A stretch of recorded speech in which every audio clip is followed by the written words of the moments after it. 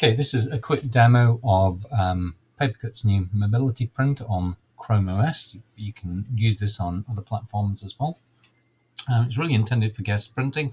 It's a great way of allowing um, printing from uh, Chrome OS devices without having to use Cloud Print. So I'm just going to print this page and let's see what I get in terms of um, printing options.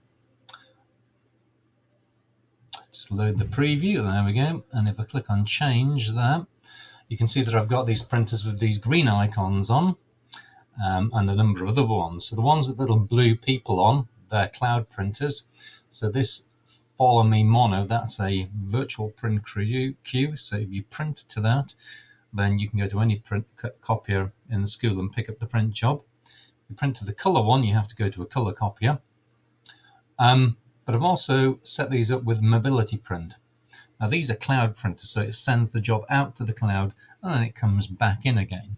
That takes a certain amount of time to do that. Okay, it's not as instant as perhaps you would like. It's pretty quick, but it can be quicker if you print locally. So this is the local version of this one here. Set it with mobility print. So if I pick that one and I send the job to print, okay, and it will just go. If you've not previously done this, it will pop up asking you for your PC username and password. And you put it in and you click on remember for seven days. And that's all that happens. Now, I've set to print to multiple accounts. And there's lots of ways you can do this. You can set it up to print to one account automatically. And a lot of people do that and they just go straight to the copier. In my case, I go to our cloud print release thing. So this is a bit like um, the online version of the local Papercut client.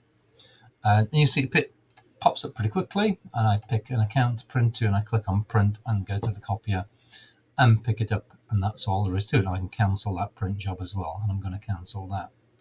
To make this work you need to deploy the mobility print um, Papercut app which is just a regular Chrome web app and it tells you you're ready to print. You don't have to do anything with the app, it just makes the printers appear. Um, so the advantage of this over regular cloud printing is that uh, it doesn't have to send the job to and from the cloud. Um, so it's faster in a nutshell. And if there's an issue with Google Cloud Print, um, this just carries on working. It uh, doesn't need to talk to the cloud at all to be able to um, print. So that's what it looks like from the point of view of Chrome OS, and it appears to work quite well.